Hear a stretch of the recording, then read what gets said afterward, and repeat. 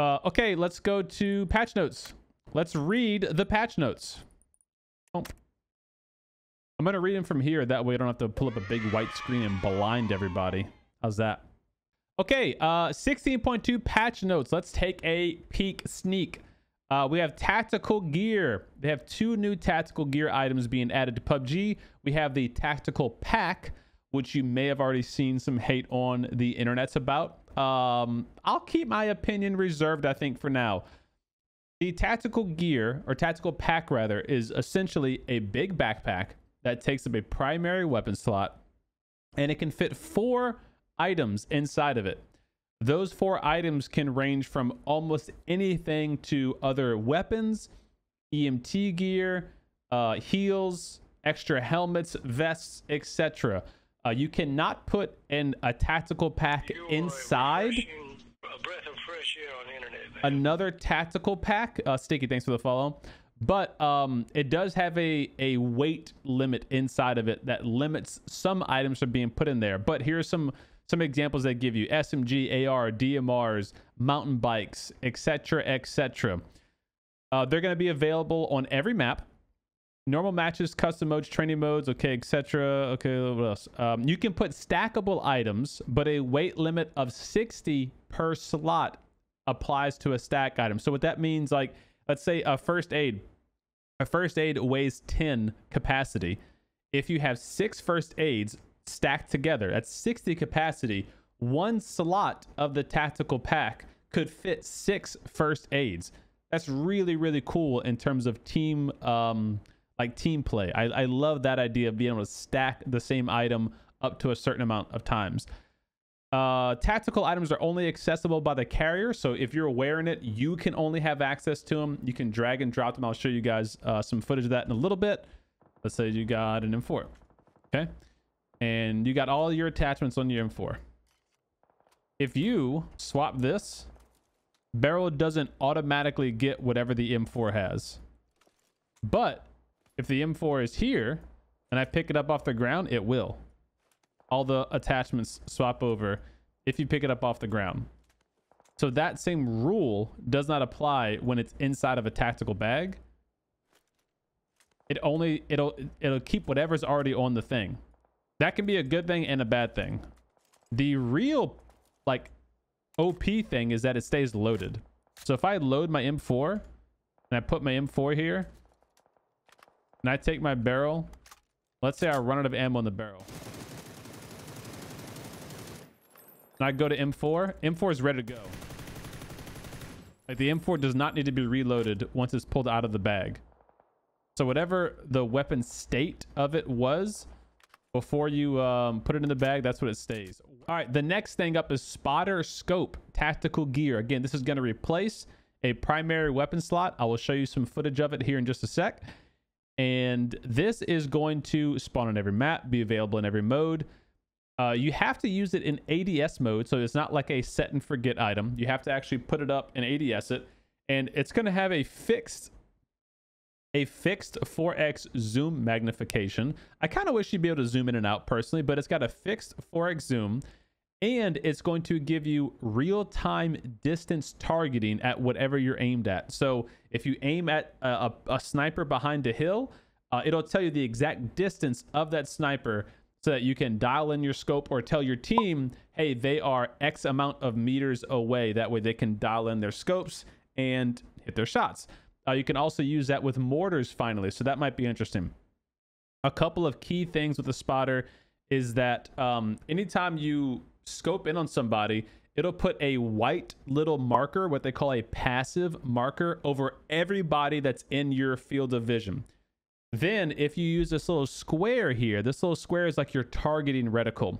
If you put that little square over an enemy, they'll get a red triangle, which you can kind of see in this picture. And again, I'll show you some, some footage in a little bit. That red triangle then turns into an active marker. That active marker will stay and follow that target for seven seconds, even behind walls, smoke grenades, multiple pieces of cover, or other enemies. That means he's an active, actively marked target. Look, see all those red ones? Those will stay red for seven seconds, no matter where they go. So I can see the red markers and my teammates can see the red markers for seven seconds. But if I don't put the, the rectangle on, you see how they're white right now? That's what's called a passive marker. And the passive marker can only be seen by you, by the person holding this thing. So he's red. Everyone on my team could see the red marker now. They know exactly where he is, even if he moves behind a smoke grenade or whatever. But you see how he's white? He only shows up for me. And if I take that off, he's no longer white. But if I scope in and boom, turn him red, I can put a live ping anywhere I want still. And look, you know exactly where that guy's going. For seven seconds. That's going to be really, really strong, man. There's no other word for it. It's going to be really strong. Okay, what else? Uh, a little change, a quality of life improvement to the uh, drone. All of your friendly drones now have green lights all the way around the drone. Enemy drones now have red lights all the way around it. Instead of it before being one green and one red on the left and right side, now, if the drone's in the air and it's a friendly, it's going to be all green. If the drone's in the air and it's an enemy, it's going to be all red. So there's also a training mode. If you remember a couple patches ago, I was talking about the new aim lab, aim lab and sound lab coming to PUBG. Now it's here. I'll show you again some footage in a minute, but it's actually, this is going to be really, really cool. This is going to uh, put you against bots um, that shoot at you. They don't do any damage to you, but it basically trains you to be able to know which direction people are shooting you from, how far away they're shooting you from, and it helps you um, adjust and turn and snap onto targets more correctly when getting shot at from multiple directions. So really cool. And again, I'll show you some more of that in a later video. Uh, those are going to be entered in by the helipad. So in order to get to the sound lab on the training mode, just go to the helipad. There's an option to get into it. Map service rotation. Finally, Sanhok is out. Haven is in. So right now you'll find Erangel, Miramar, Taego, Karakin, and Haven. Those are the five playable maps uh, for this update. In ranked, it's going to be Erangel, Miramar, and Taego. Next month, Sanhok is supposed to be coming back with uh, some re reverts and revamps. A, a, uh, a revamp 3, version 3. Okay, so we've got a couple of Karakin updates, which I haven't seen myself yet. They basically added more cover to the terrain. They've reduced the overall height of some of the mountaintops to make it less OP uh, for one team to be on top and be able to third party everybody. And they added um, just some more rocks, boulders, trees, and walls to give players cover when coming off of hills and mountains. So all all really good stuff, I think. I, I tweeted about this earlier today. I don't know if you guys saw it. This is a little uh, a little hint at a new feature. Care package smoke. The colorblind setting will no longer apply to the red smoke from care packages due to a new feature to be added in a later update. I think what they're talking about here is being able to have a um, personal red zone strike be called using a smoke bomb or a, a, a smoke designation marker. If you remember the Fantasy Royale mode that just came out a few months ago, uh, one of the characters' classes threw a smoke um, grenade, and I think it was like a purple smoke, if I remember right. And a few seconds after it, here comes a freaking missile strike, you know, from from the heavens, and boom, and it destroys whoever the heck is right there. I think that's what they're hinting at. That's going to be an, an actual lootable item in the game. I don't think it's going to deal destruction uh, to buildings and stuff like that, but I think that's that we're that's what we're going to be looking at uh, which is really cool. Uh, big, big, big changes to item spawn balances. Erangel and Miramar have huge loot buffs. Absolutely huge loot buffs. I won't go over all of them. You can read them, but just the gist of it is all of the spawn rates have been increased. Shotguns have been decreased. Healing and throwables have been decreased. Not sure why that happened. Um, but yeah, so overall, going to be a really good uh, loot buff to both of those maps, I think. It's called a uh, D D dash eight. Don't type that in chat. Login event. What's PUBG thinking? D dash eight. what are they thinking with that? Uh, so we got a new login event, which it says March 8th through March 16th. Obviously, that's just test server.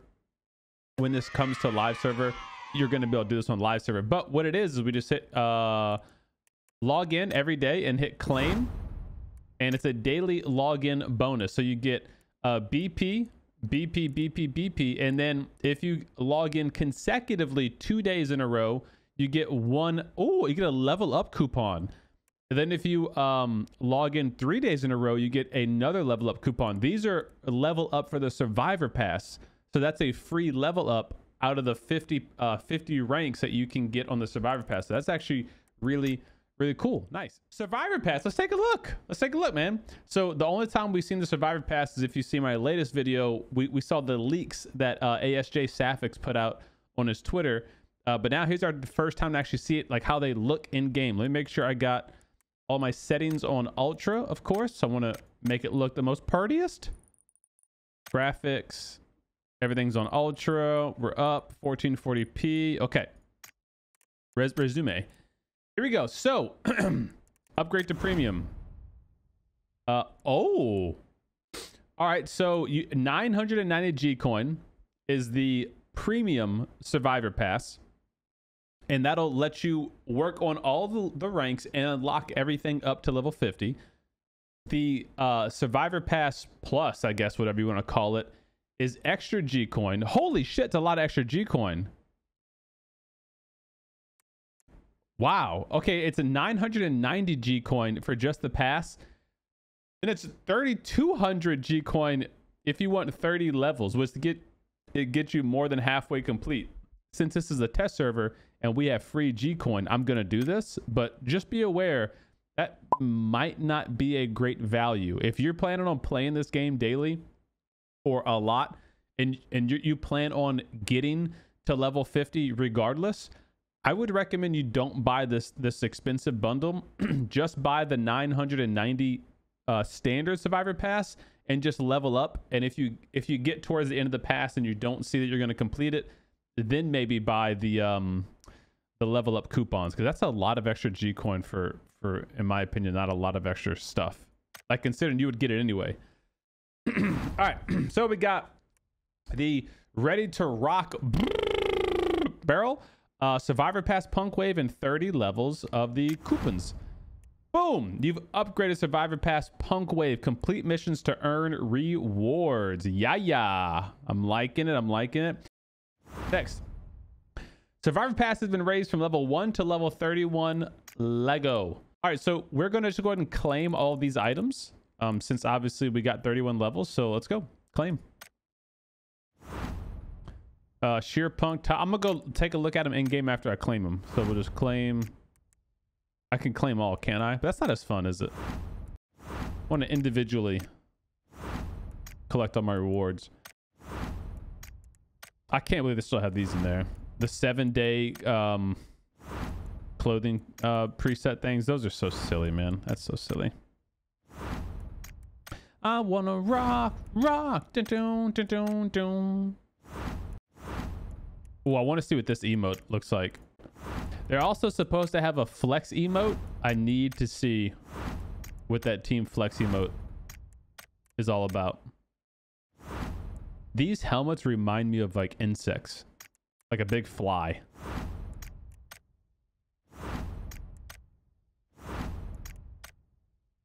Oh yeah, get them all.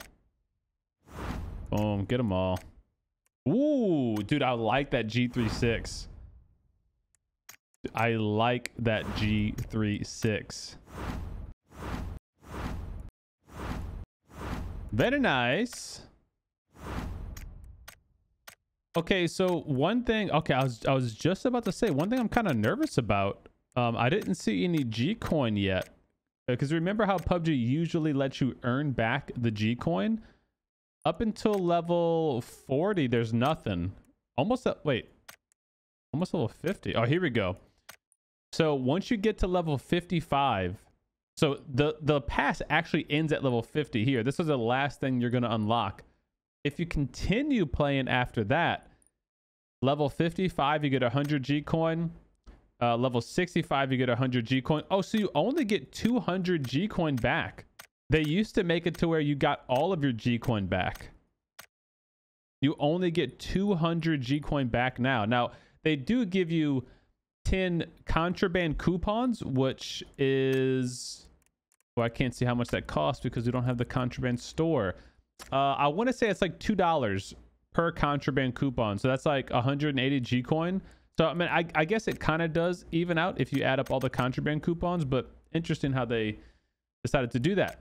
All right, let's take a look at the actual items that look in game. Uh, this is the Serpent T-shirt here.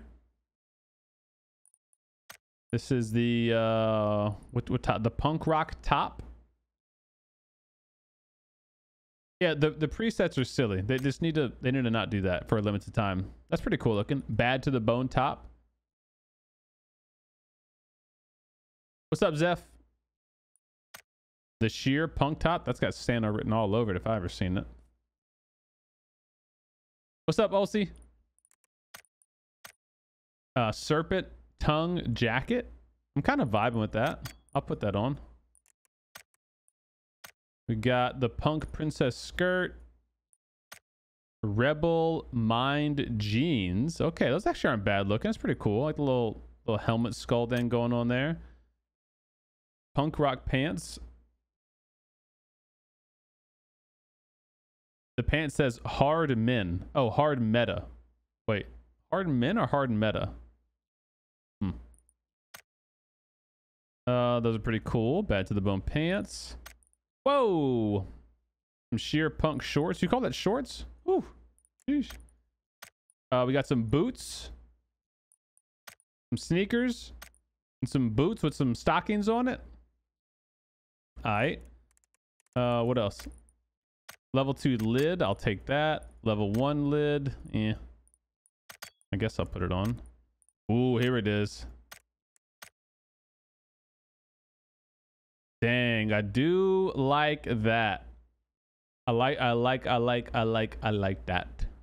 I doubt it says hard man. I'm just saying it might, man. They put 8D in the freaking patch notes. uh, like the barrel. I like that too. It's this is definitely not going to replace my bad to the bone barrel, but this is this is good. I think if you don't already have a good barrel skin, this is a good one. Like I love when they take the time and they do like different accents up here where where you spend a lot of your time ADSing. I wish they had done a little something more, but I, I like it. It looks good. It's not too over the top, but just a little, you know, a little color pop in there. Uh, we'll we'll equip it for today since we're on the test server and stuff. But uh, same thing with the shotgun. Like I I don't my, the skin looks good. I don't think I'll ever use the shotgun because I have the skin now. But if you do use the shotgun, I think it's pretty cool skin. You know, I got nothing against that. Where, where's my G? Uh, I equipped the G36 already. Yeah, I did. Okay. Oh, now this is what I need to see in game, yo. I need to see this punk axe. This thing replaces the crowbar. This is freaking cool. This might be one of the coolest skins they've actually done. Equip. Like, imagine just running around throwing this freaking guitar at someone. That's going to be freaking cool. What's up, Zara? Oh yeah, we're looking risque tonight.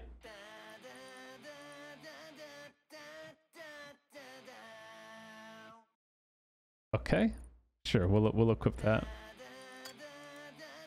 All right, we'll do that. Seasonal BP, yay! Uh, contraband coupons. Don't forget, buy your 10 coupons a week, even though it's test server and there's no contraband store. Just get into the habit. Let's get our get our crates. You can buy six of these a week. Oh, a contraband crate. I actually haven't seen that before.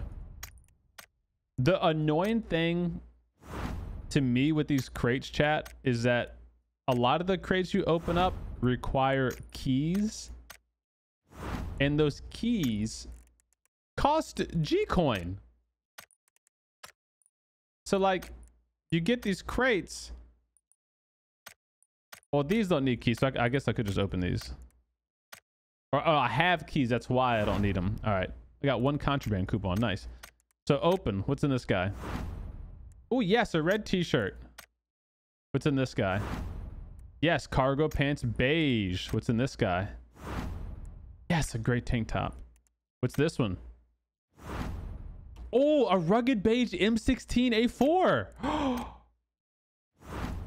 oh, rugged beige crossbow.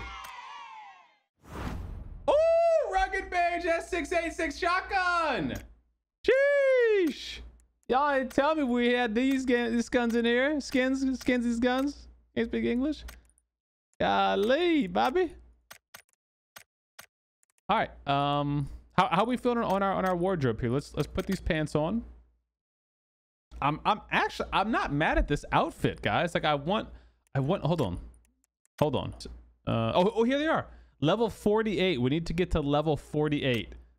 I want that look look at these. I can't zoom in, I don't think, huh? No. I want those. Those are so stinking cool looking. I want those bad. Add to the bone. Bad.